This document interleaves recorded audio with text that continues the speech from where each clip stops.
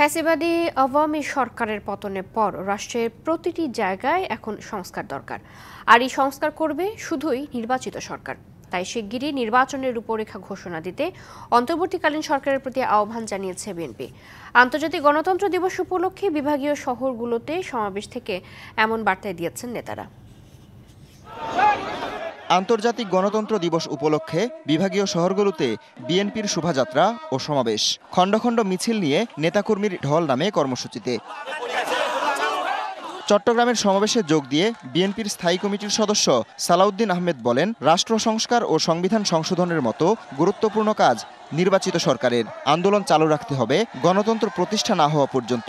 সকল সংস্কার বাস্তবায়নের দায়িত্ব একমাত্র নির্বাচিত সরকারের। আপনারা সংবিধান সংশোধনের জন্য আড়াইশোটিরও বেশি ডিজাইন অপশন নিয়ে ওয়াল্টন স্মার্ট ফ্রিজ বোঝে আপনার প্রয়োজন।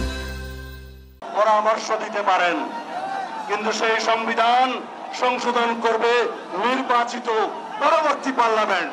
খুলনার সমাবেশে দলটির স্থায়ী কমিটির আরেক সদস্য গয়েশ্বরচন্দ্র রায় বলেন, মানুষের ভোটাধিকার ফিরিয়ে দিতে গণতান্ত্রিক সরকার প্রতিষ্ঠা করাই লক্ষ্য।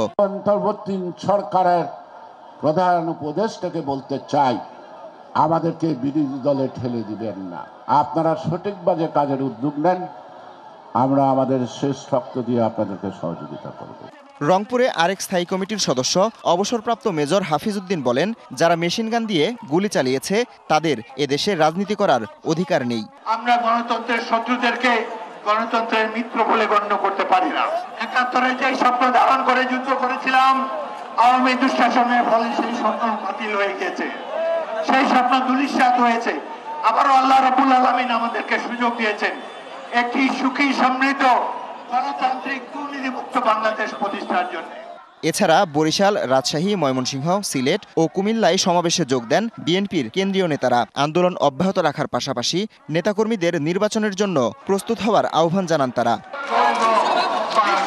Habibur Rahman, DBC news desk.